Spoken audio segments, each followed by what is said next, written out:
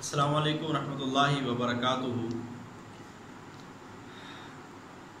उम्मीद है आप सब लोग खैरियत से होंगे और कुछ दिनों बाद हमारी ये क्लास अब हो रही है।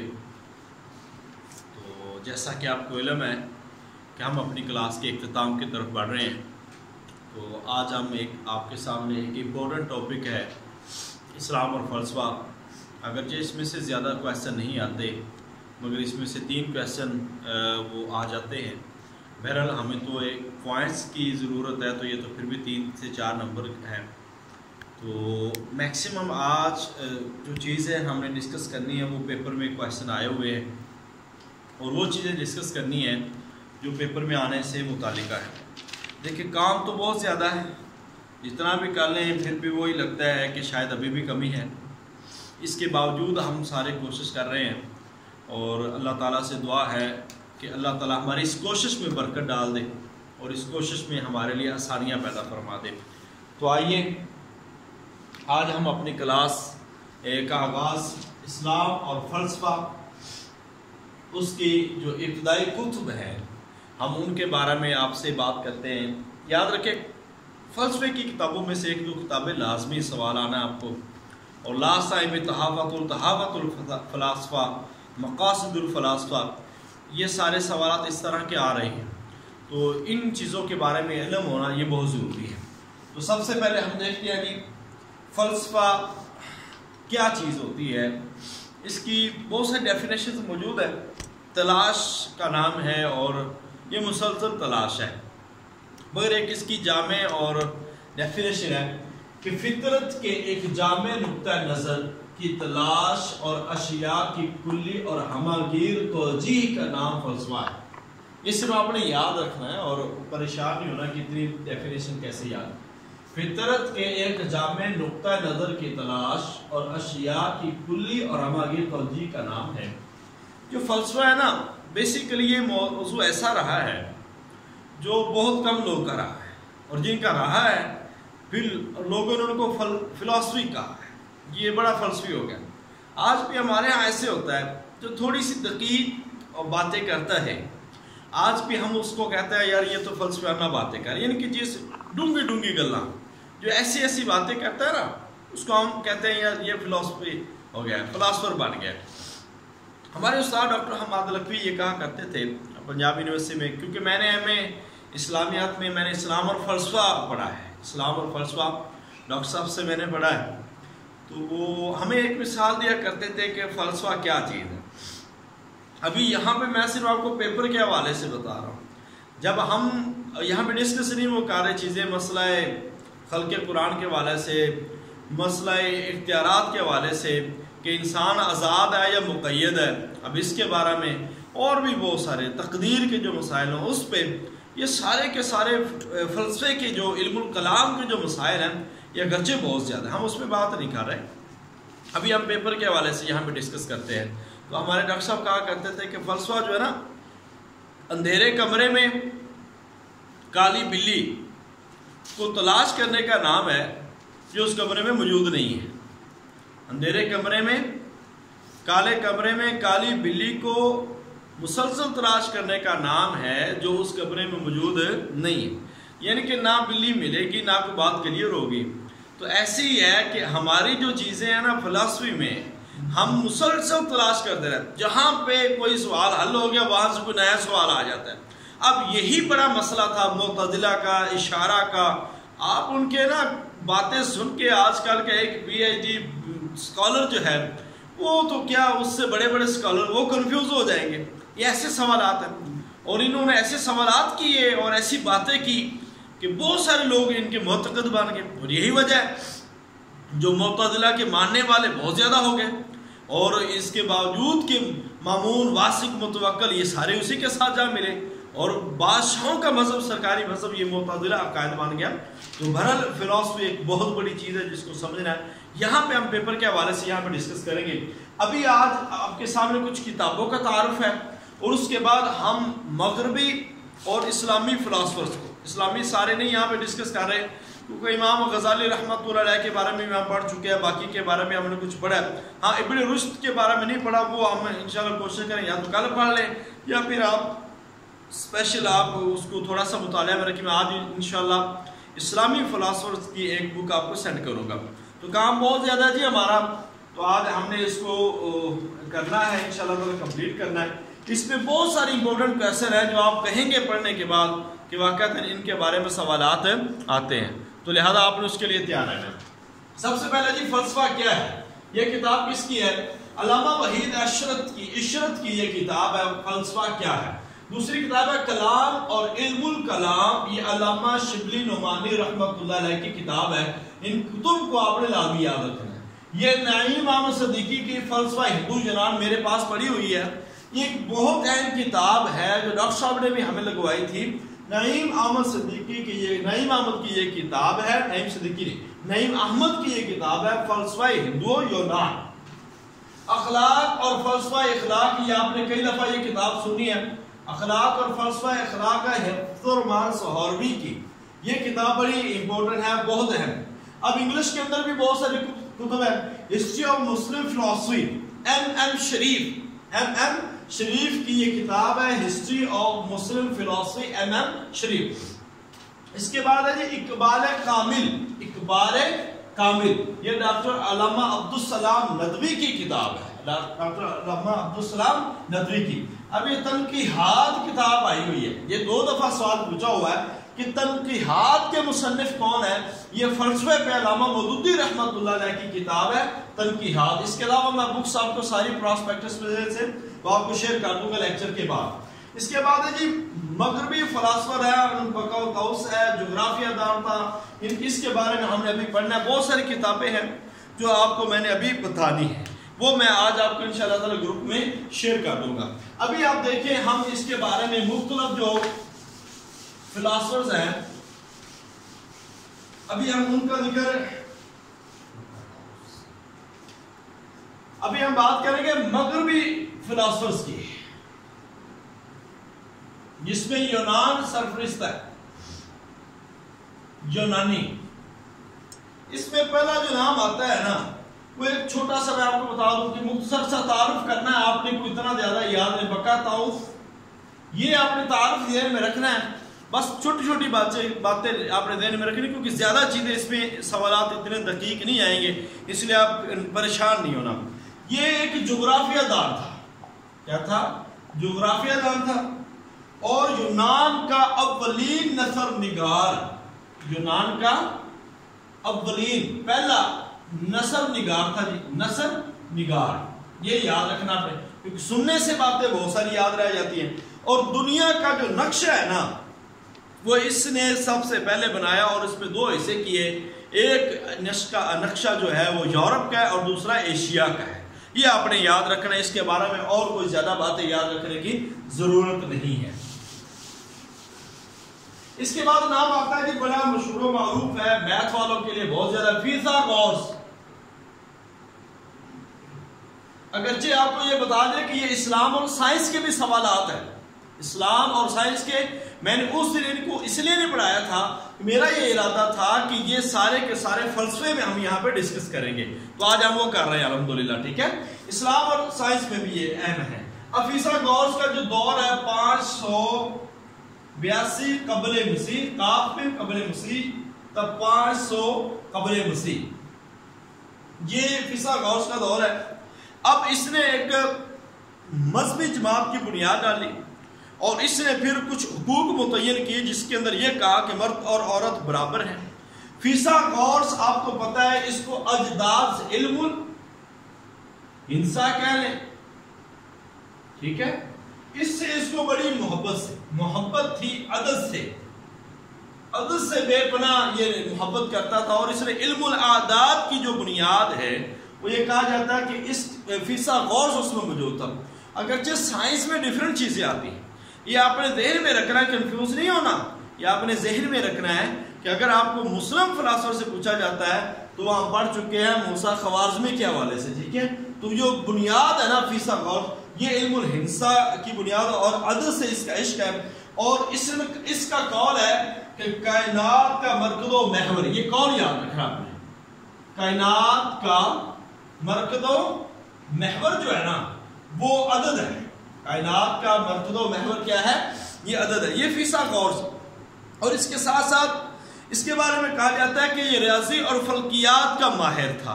और इसके साथ अगर कहा जाता है कि अगर फीसा गौर ना होता तो गलेलू का नामो निशान भी इस दुनिया में ना होता। गलेलू का नामो निशान भी यहाँ पे ना होता। इल्म आदात का बानी। अदद से इश्क किया, कायनात का मरकज महवर कहता है ये सारा अदद है।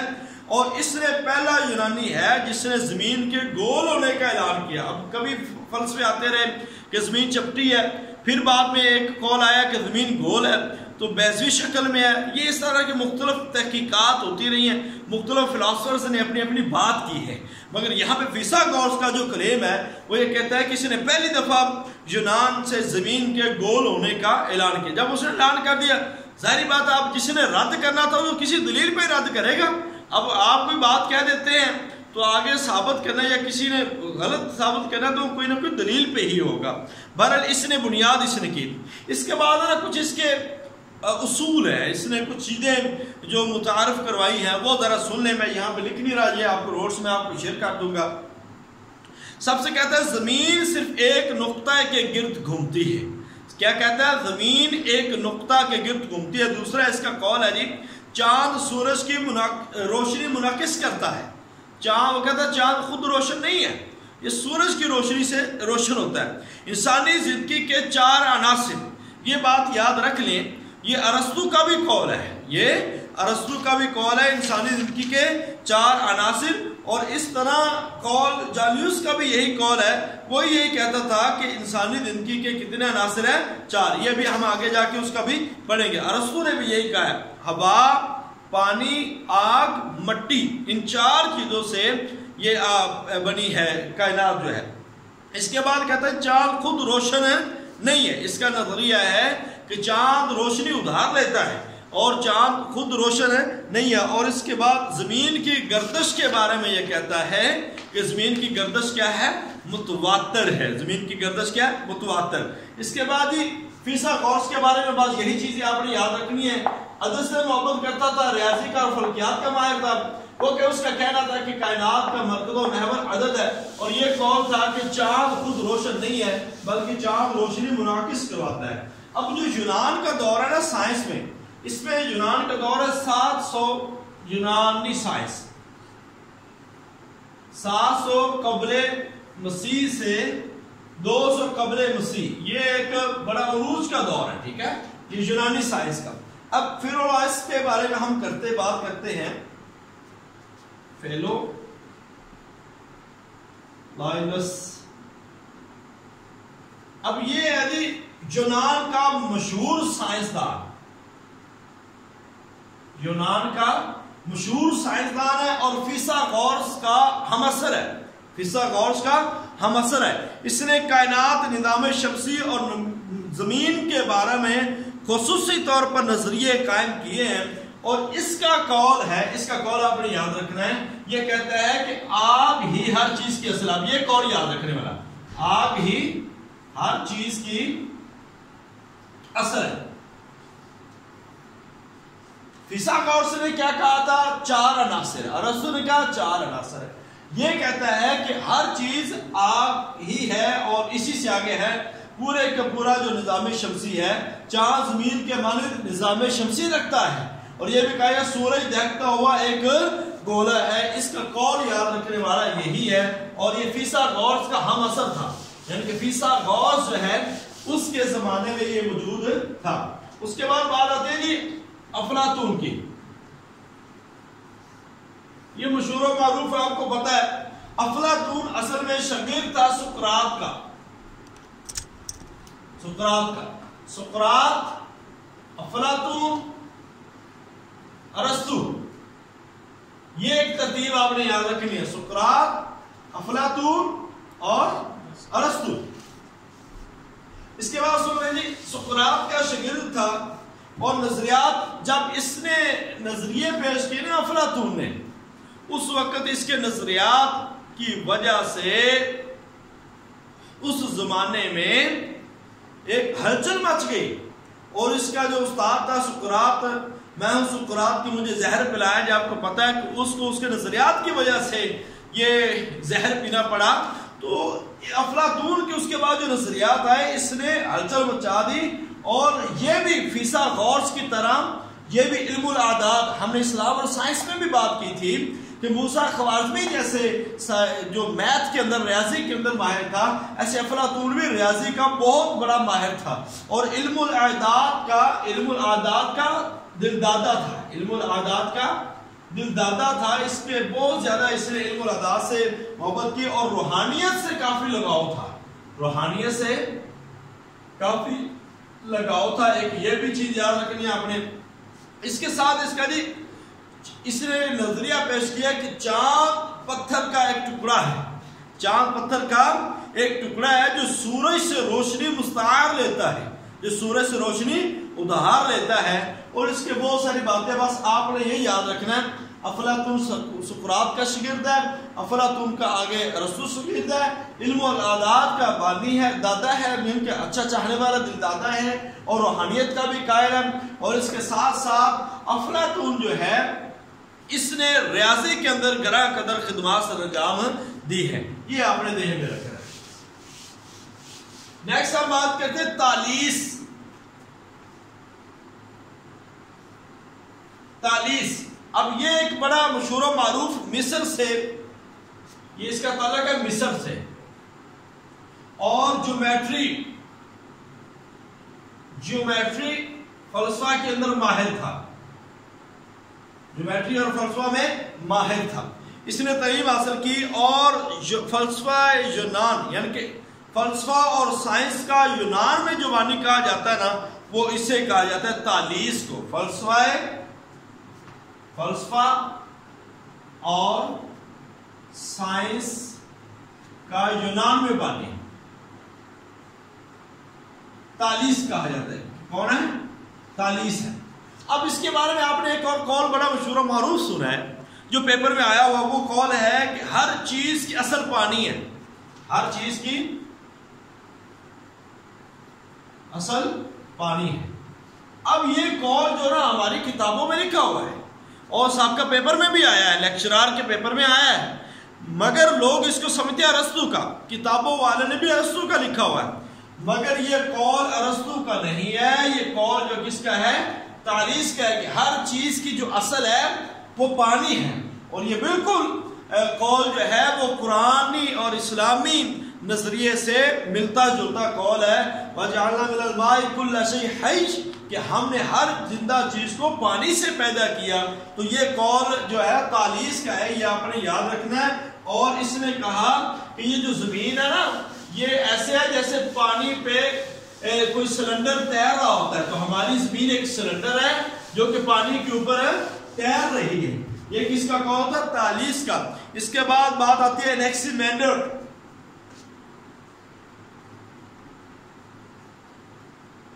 इनके बारे में कोई ज़्यादा सवाल नहीं आते, बहरहाल आपको सिर्फ़ बताना मकसूद है, ये तालीस का शगीर था, तालीस का। दुनिया का नक्शा बनाया, और इस नक्शे, इसका कहना है, इर्तका का नज़रिया। यह कहता था कि सबसे पहले इंसान मछली था, सबसे पहले इंसान मछली था। और इससे पहले जो इंसान क्या था, इर्तका का नज़रिया इसका, इंसान मछली था इर्तका का नज़रिया इसको कहते हैं। इसके बाद इसका काम है कि पहले थे हवा, पानी और मट्टी, तीन उनसर इसने चौथा उनसर आग को शामिल किया है। ये क्या किसने शामिल किया है? नेक्सी मेंडर ने चौथा उनसर आग को शामिल किया ये आपने याद रखना, बस आग को। आग का उनसर इसमें शामिल है। बस ये याद रखना तालीस का शकीर था, दुनिया का रक्षा बनाया और नज़रिया इर्तका इसका है। और चौथा उनसर इसने आग का शामिल किया है, ये याद रखते हैं दिनों अब दिनों जो है, अमूमन ये कहा गया कि दिनों जो है ना, वो दो है। दिनों दो हैं, एक फलसफी था और एक साइंसदान था। और यहाँ पे हम साइंसदान की बात कर रहे हैं कि जो 490 में पैदा हुआ है कबल मुस्लिम में, ठीक है? और इसके साथ साथ एलिया के नाम से मशहूर है, एलिया। एलिया के नाम से मशहूर मारूफ है और मंतक में इसने एक बड़ा नाम कमाया और इसका एक कॉल वो याद रखने वाला है कि कायनात एक मुसलसल और नाकबले तगैर चीज़ है। कायनात एक मुसलसल और नाकबल तगैर चीज़ है। बस इसका ये कॉल याद रखना है। जेनो दो है। हम किसकी बात कर रहे हैं? जेनो साइंसदान की और जिसका नाम एलिया है। ये आपने याद रखना है कि ये इसने मंतक में नाम कमाया और ये कहा कायनात एक मुसलसल और नाकबल तगैर चीज़ है। अरस्तु। अरिस्टोटल, अब इसके बारे में हम पढ़ चुके हैं कि ये अफलातून का संगीत था। अफलातून का शिगिर और 20 साल अफलातून के एकेडमी में पढ़ा है। 20 साल एकेडमी में पढ़ा है। 20 साल अफलातून। अब ये रियासी मंतक फलसफा हयातियात तिबियात में इसने कमाल हासिल किया। अब इसका कॉल है कि तमाम चीज़ों की असल चार चीज़ें हैं। तमाम चीज़ों की असल चार चीज़ें हैं। वो ये कहता है, चार चीज़ें कौन है? हवा, मट्टी, पानी और आग। ये चार चीज़ें जो कहता है अरस्तु, के इन चार चीज़ों से कायनात सारी की सारी खड़ी हुई है। और इसने एक, इसके फलसफे जहाँ पे बड़े मोतबर थे, वहाँ पे इसके फलसफे बड़े कमज़ोर भी थे। इसी का कहना है, इसने क्या किया कि एटम के वजूद का इनकार, एटम के वजूद का इनकार किया है और इस पे इसको बड़ी तनकीद का निशाना भी बनाया गया है, एटम के वजूद का। वो कहता है कि ज़मीन ही कायनात का मरकज है। ये भी इसका कौन याद रखना है दोस्तों का। ज़मीन ही कायनात का मरकज है। ये कौन अरस्तु का है? ज़मीन, एटम का इनकार कौन करता है? अरस्तु ज़मीन ही कायनात का मरकज है। ये किसका कौल है? अरस्तु का। और ज़मीन गोल है गलीलू का नज़रिया सिकंदर आदम का उस्ताद था। अरस्तु सिकंदर आदम का उस्ताद था और इसने हयातियात को अपना मौजू बनाया था। इसने हरकत की तारीफ़ की थी कि भारी चीज़ पहले ज़मीन पर गिरेगी और हल्की चीज़ जो है, वो बाद में ज़मीन पर गिरेगी। ये इसने नज़रिया पेश किया था, अरस्तु अफलातून का शगिर्द है। तमाम चीज़ों की असल चार चीज़ें हैं। एटम का वजूद का इनकार करता है और कहता है कि ज़मीन ही कायनात का मरकज है। ये आपने याद रखना रस्तों के बारे में। मैं डिटेल में यार इतना आपको पढ़ा रहे इतना काफ़ी है। सिर्फ़ सुनते हैं, देखते हैं। बकरात अब ये जो बकरात है ना ये बेहतरीन तबीब है। एक बेहतरीन है।